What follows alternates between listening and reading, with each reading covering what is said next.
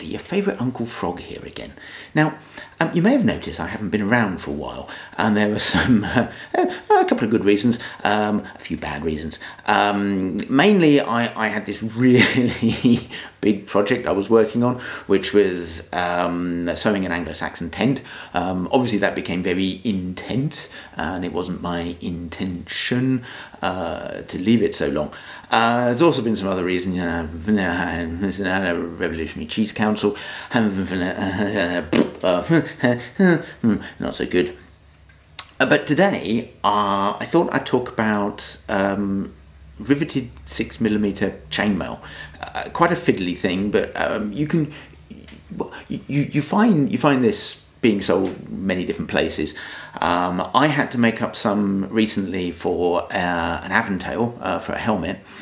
Um, and I ran into some some interesting, um, call it problems, uh, issues, challenges, whatever you like to call it, um, which I'd like to go through now. But I'm going to change the, the camera around so yeah, you can actually see what's going on. So we'll um, I'll I'll I'll do, I'll do one of those cut things, and we'll we'll have a look closer down here, which is something I've already set up. Okay. Okay, so riveted chainmail.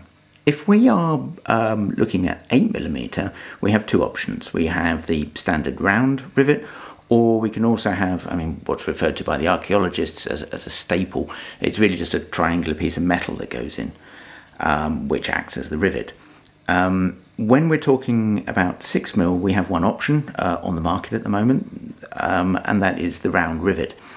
I um, follow the European convention of um, each link going through uh, four links.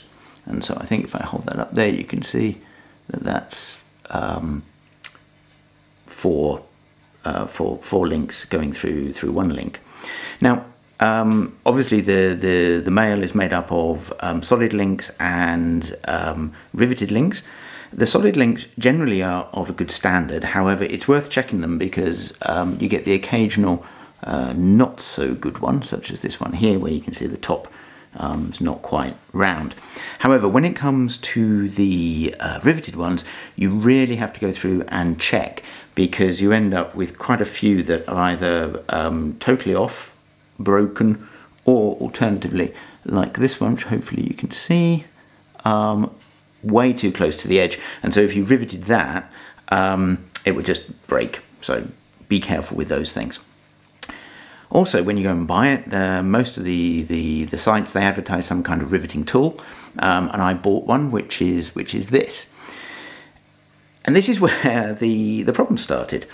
Um, if you have a look on this tool, I think you can just about, if I can catch the light properly, yeah, you can see that there is a hole here, and there's also uh, there's also a hole on the other side there. Um, I tried taking the um, um, the, the lost myself there. So let me just, I'm trying to do two things at once. It never works. I can't multitask. And I have to try now, very fiddly, try and get the, the, the rivet through the hole. And hopefully that will work. Right, okay. So that's, that's gone through. So, it doesn't come with any instructions. And so you would assume that you put the, the rivet through like that, and then you take this tool and you place it over and line up the two holes and squeeze.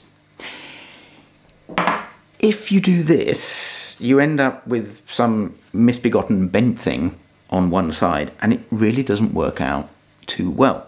And I, I have a neatness gene. I, I like things to be nice and neat. And so um, I came up with a different solution which gives you a nice finish. And this requires some clippers and a mini vise. Um, I don't know if you can actually see, but uh, this is a very old one because it comes from the uh, USSR, but you know, still works. Okay, take the clippers, place them down here, and chop off most of the rivet because if you think about it, when we're riveting, when we're peening over rivet with a hammer, we don't want kind of five, six, seven millimeters sticking out normally. We just want a couple of mil sticking out and that makes it a lot easier to rivet. Um, and so you just ping that off and obviously there's a, a large ricocheting noise and things ping out in different directions. Um, if you do share the place with somebody, um, yeah, do it when they're not around and, and get a good quality vacuum cleaner. Then uh, we pick this up off of our, our little part here and we just put it into the corner of the vise and um, tighten the vise up. Now, obviously this is quite slow, but as I was only doing an Aventail, it didn't really bother me too much. there is a problem as well. Um, you are going to essentially start wrecking your vice doing this because you can probably see now, maybe you can see, this has closed in a few mil well this this is a few mil closer on this side than it is on this side. And so the thread underneath here is is getting damaged. Um, it's worth swapping over do one on one side one on the other and if you're only doing a small amount it doesn't really matter. It's not a big deal. Um, but you do end up with a very nice so that that's the that's the original side I'll hold that up there is it going to focus yep that's the original side and that is the riveted side. So that works quite nicely. I think if you're going to be doing a lot of these things, then you should, um, if you do have this tool which has got a hole on both sides of it, um, either grind down um, one of these ends, or preferably if you have a friend who has something like a MIG welder or whatever, um, just stick a spot of weld in there and flatten it down. And I think that will work extremely well. However, as it stands, um, the tool they give you just doesn't do the business particularly well.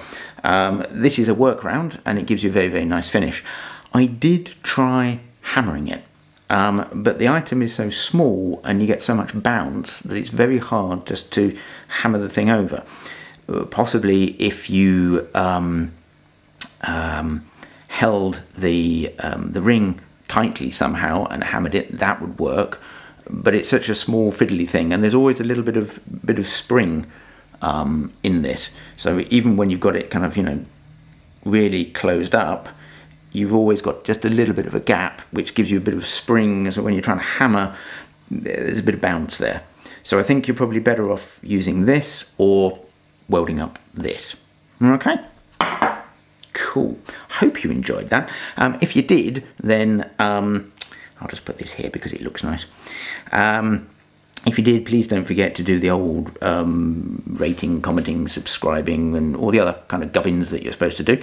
And I'll see you next time. Bye!